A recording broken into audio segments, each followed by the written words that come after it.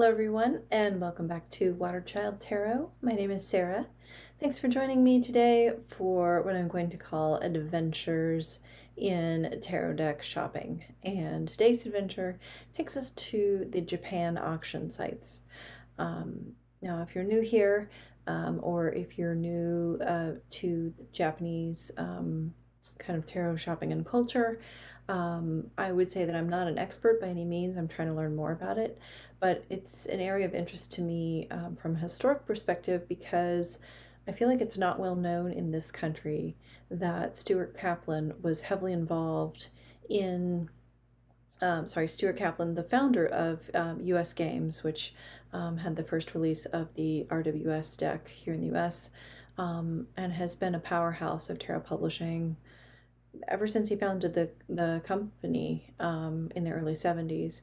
So um, he was also heavily influenced in um, tarot culture and uh, you know, I don't know if he helped promote it there in, in Japan or if he just sort of rode a wave that was naturally happening um, culturally. Uh, Japanese people got very interested in tarot, and there's still a huge um, tarot market there today.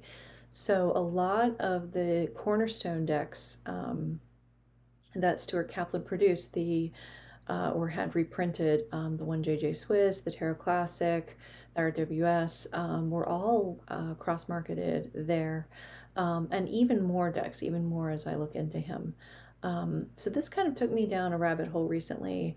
I did go on a bit of a spree um, shopping there uh, at Japan auction sites, but um, I had some I had some successes and I had some mishaps and some kind of question marks and I thought it would just be fun to kind of look at those stories today.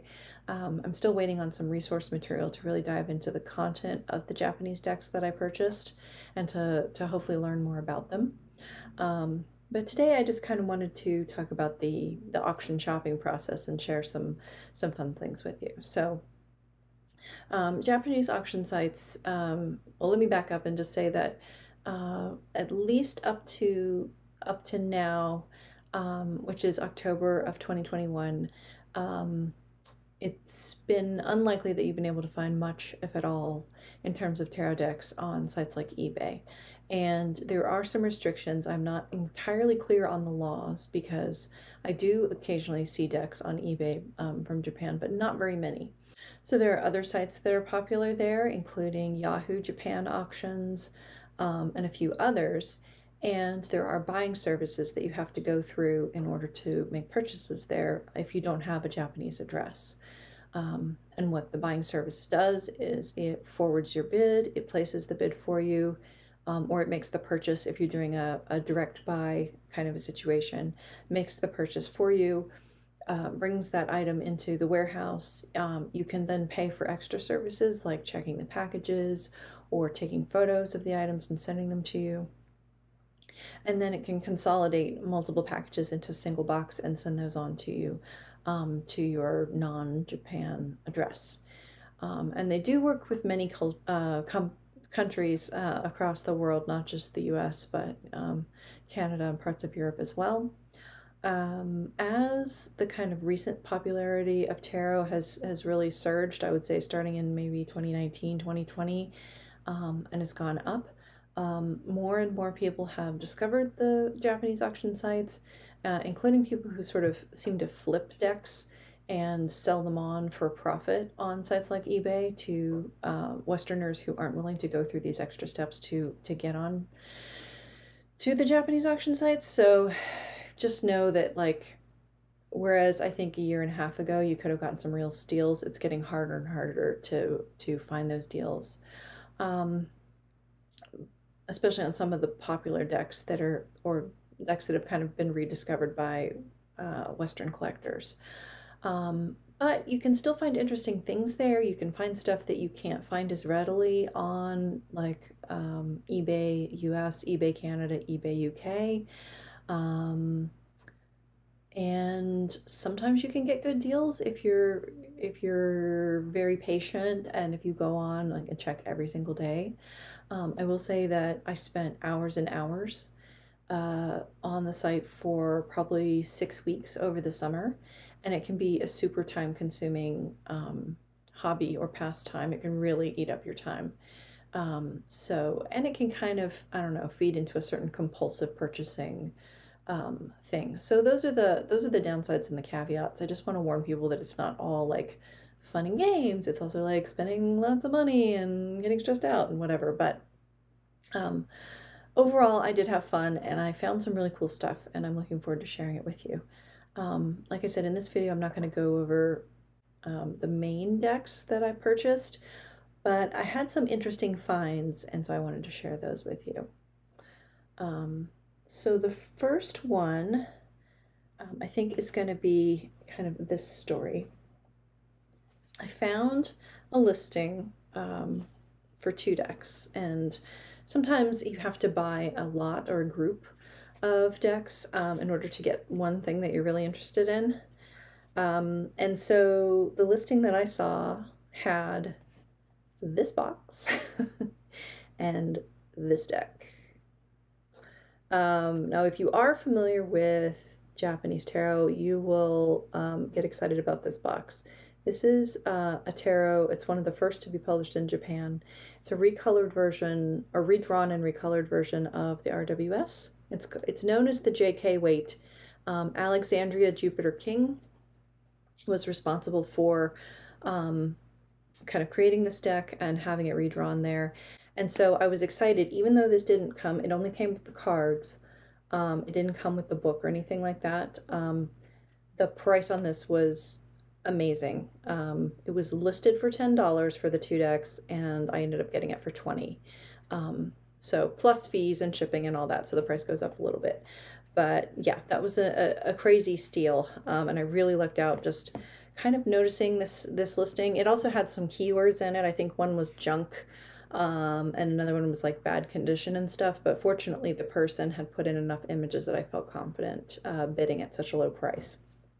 Anyway, total lucky score. But what I, you know, I didn't even pay attention or didn't even care that this deck was also included. Um, but now I'm kind of curious. Now that I've unpacked it, um, I knew it looked like the Visconti Sforza, which I have a reproduction copy of.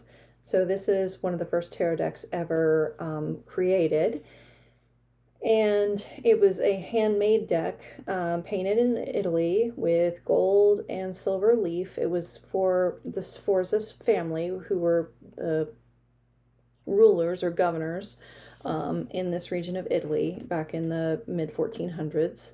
Um, I think his the, the title we know him as is like the Duke of Milan. So a duke being like a, a prince essentially um, of a of a city state.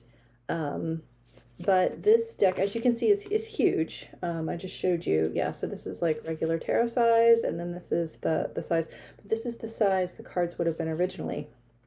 Though there have been several uh, releases of like this facsimile, huge size, but I'm not sure exactly which one this is. You can see, um, maybe not on this camera, but you can kind of see that there's like a gray uh, border on each card and I can see by looking at it that this is like a photo of the original cards. Um, what you can tell here is that these haven't been retouched. So there's paint and leaf is like flaking off and peeling in places. There's tears, uh, there's creases, there's all kinds of, of things. Um, the backs are just a solid red. And I feel like this is maybe um, one that Lo Scarabeo did as like a special release or something, but this didn't come with a box. Um, it did come with a booklet uh, in Japanese, so that's interesting. Um, here is the booklet. You can see it's got Japanese writing at the top, and um, it's interesting to me is it has some images from other tarots in it. So this would be like a Bolognese um, a couple of examples from Bolognese Tarot, but just a little bit later in from Bologna. And then it has in the back, it mentions Grimaud, A.G. Mueller, Piatnik, and Mondi Modiano, which are all famous printing houses of tarot. I know that's out of focus, but that's where that comes in. And then there's a few images from other tarots. So we've got a, a Conver look-alike. We have, or that's the Grimaud, which is a Conver copy. Um,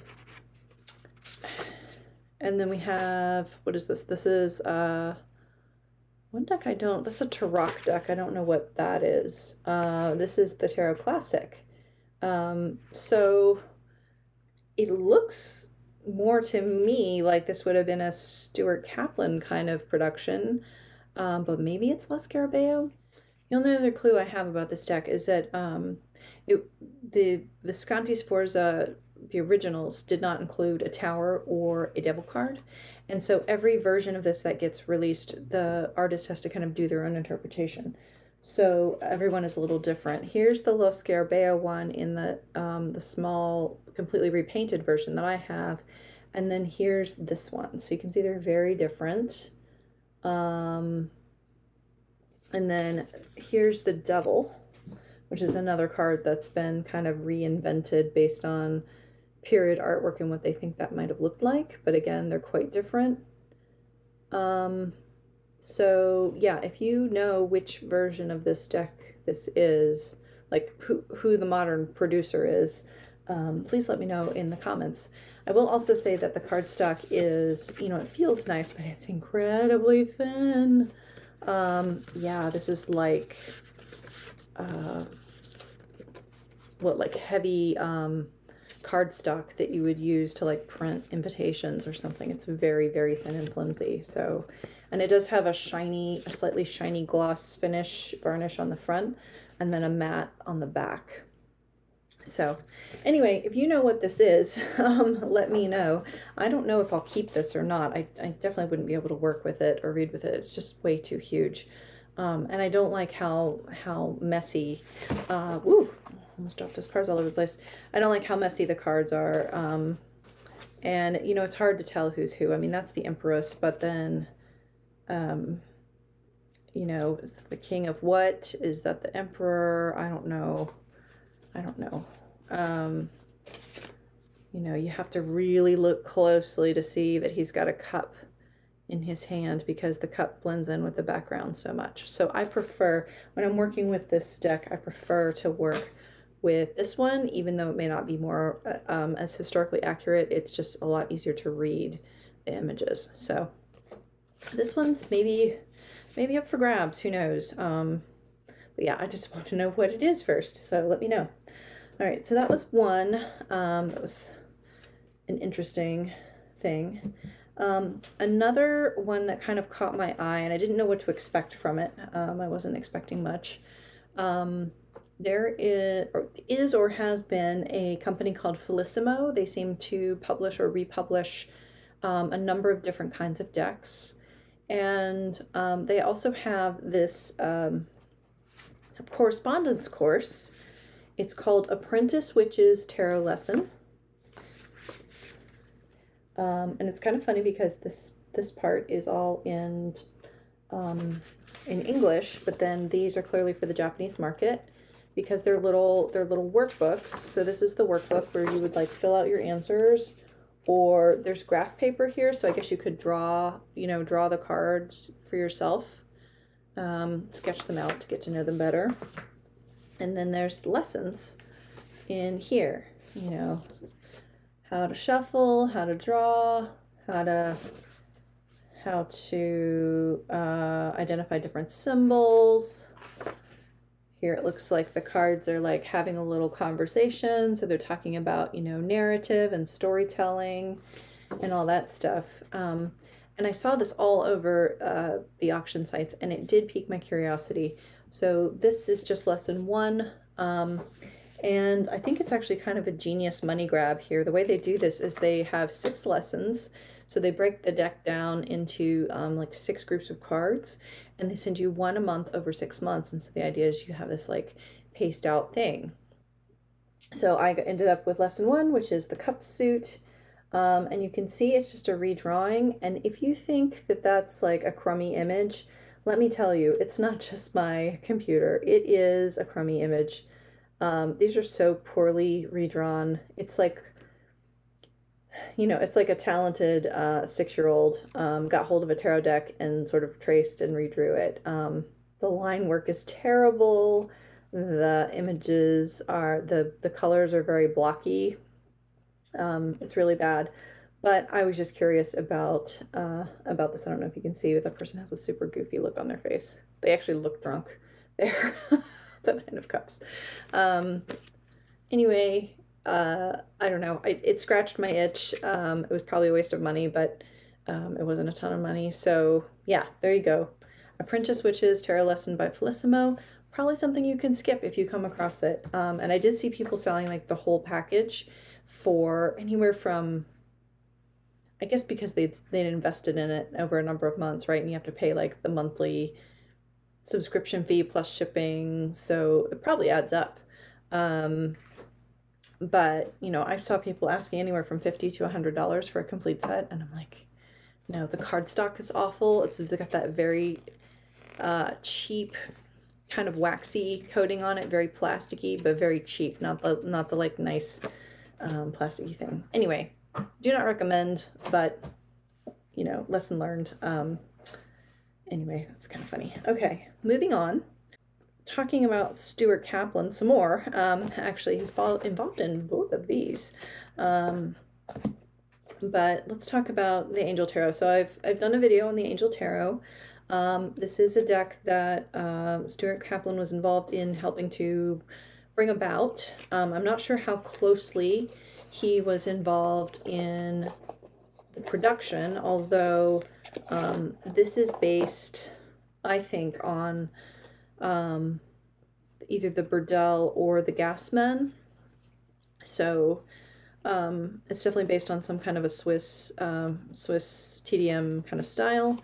Um, and I really like it. It's got the like playing card kind of pips or, or Marseille playing card mashup. So you have here you have swords and you have the spades, but you have a different arrangement than the traditional um, pattern. So, um, you know, that just makes it like a nice fun difference to read with rather than having this exact same pattern on, on all your pip cards. Um, so because I'm such a fan of this, I saw something that said um, Sony cards. Sony as in the, the I know them mostly as a music um, equipment brand. Um, but then it had this image and it looked like the Angel Tarot. So let's open this together because I haven't actually looked at it. Um, so it's just this plain black box. It's not very thick, so I'm guessing it's just 22 cards. And um, since my camera refuses to focus, it says members of uh, for special selected members of Sony card. And the emblem in the middle is like a kind of an Art Deco style. It's a guy playing a saxophone, and these little musical notes are kind of coming out, which um, I guess was the symbol that, that Sony used. So inside, we have the same booklet um, as comes with this pack. Same booklet. and sure enough, um, the same deck, but it says Sony card on the back. It says Sony card here, and it's that same emblem. So I guess this was some kind of marketing campaign, and we do see this, um, you know, in in the U.S. and in the U.K. that people used uh, tarot for marketing. Like I've got the, I've got the Lovers card from um, the Frank Albano deck um, that was used to advertise and promote the musical Hair. Um, there's things like the Line Strider tarot that were used to promote um, printing uh, and lithography um, specialists who could do spe specialty printing for you. So there's this long history of like tarot and advertising um, being being sympathetic bedfellows, which is very interesting to me too. It's like why why tarot? You know, um, I guess sort of in the same way that playing cards are, you know, you get promotional playing card packs with like your company logo on them or something like that. But especially these days, I think tarot is more specialized and is more about like, you know, the kind of like soul searching or introspection or self development or or even fortune telling. Um, so it's just funny that it's it's made its way into advertising in so many ways. So this is cool. This is like a genuine uh, collector's item. This Angel Tarot, um, done for I guess Sony Music. Um, so I'll have to I'll have to see if I can find any other information about why or how this came about, but I'm guessing it was just a promotional thing. Um, members of Sony card. So that's another clue. This, I guess this was a special, you know, membership that you could get. Maybe maybe subscription. You could get music by mail or something. Um, I don't know. So, but that's kind of cool, especially because I'm such a fan of the other deck. Um, so put that aside. I did get this random booklet with one of the other decks uh, that came, and it's again kind of an instruction booklet slash, yeah, like here's how to shuffle, here's how to, uh, here's some different spreads. And there it is. uh, it's kind of funny. And then the last uh, anecdote I have um, is around this one. So this is the Spanish Tarot. Um, it is uh, produced by Fournier. But um, I know that Stuart Kaplan was also involved in an early uh, production of this. Um, I technically own another copy of, of this deck, but um, I don't have it with me.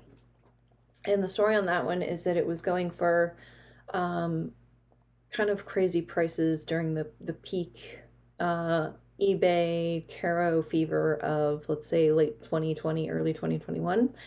Um, but I managed to find a copy for, you know, fairly reasonable price for a vintage deck, around $30 US. Um, but the the seller wanted a crazy amount of money to ship it over here overseas. So I have several friends in the UK. I contacted one of them. I said, "Hey, I'm bidding on this auction. Um, it's for a very small item, it's a pack of cards. Can I have it sent to your address? And you know, I'll come get it later." Was like, "Sure, no problem." Um, so I did that, and of course, um, as the uh, public health crisis um, with uh, COVID has dragged on, um, and this is very much a first world problem, so please don't feel sorry for me, but uh, we haven't been able to take our vacation to the UK as planned, and so um, that deck is still in the UK. So I will get it eventually. I'm sure my friends would just send it to me if I asked them to, um, but I don't mind it. I don't need it. I have other tarot decks. Um, so anyway, I was on the online auctions, and I was just about to kind of cut myself off and say, okay, I need to like wrap up and like have them ship me my stuff and stop spending money. Um, when I found this uh, come up and I was like, oh, it's only $5. They've listed this deck and it's only $5. I'm definitely going to bid on it.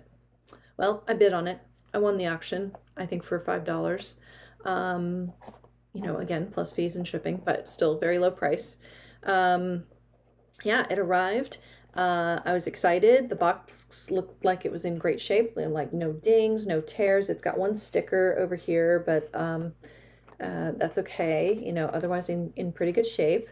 And I open it up and it's got all the paperwork in it in the different languages. Very cool, cool, cool, cool.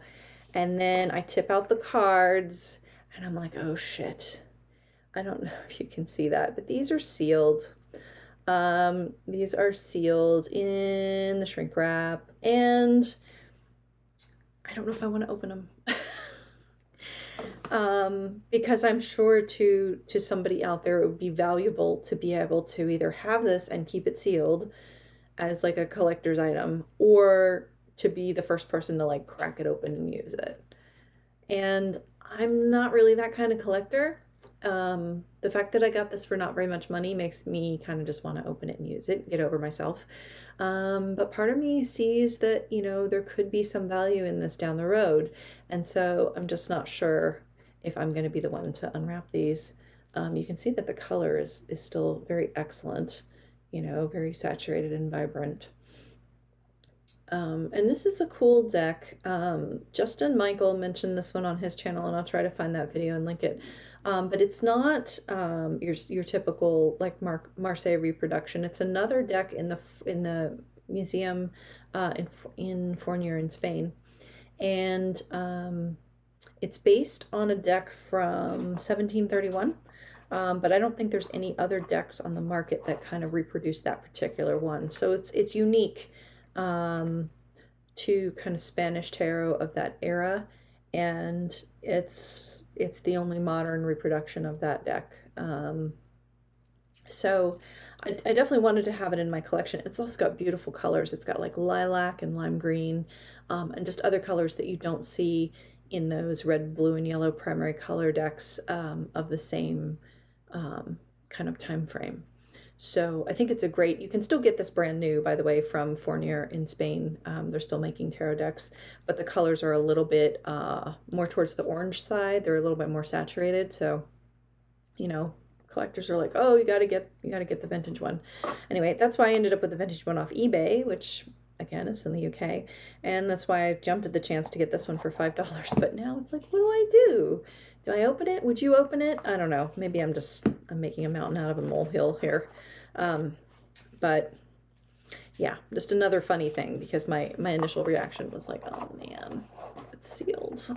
And I know some people would be like thrilled, like, yay, it's sealed, it's brand new, nobody's touched it, you know, nobody's got their germs all over it. But um, I'm kind of like, I don't know. It's it seems like a lot of responsibility somehow. Um, anyway, so that's that's my kind of hits and misses with um, Japanese tarot auction shopping, and I will be back as soon as I can with more in-depth Japanese tarot information for you. Uh, until then, I hope you're all well and happy and safe and enjoying your fall and all of your Halloween preparations. Uh, and take care.